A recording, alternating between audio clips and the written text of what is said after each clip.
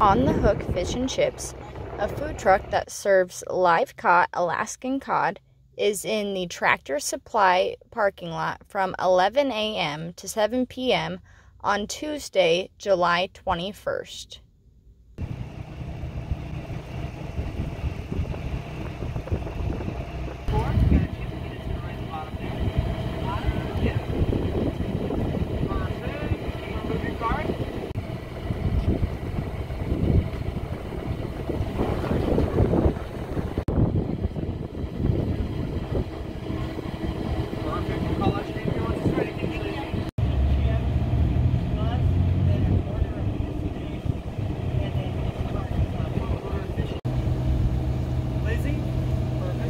Kayla.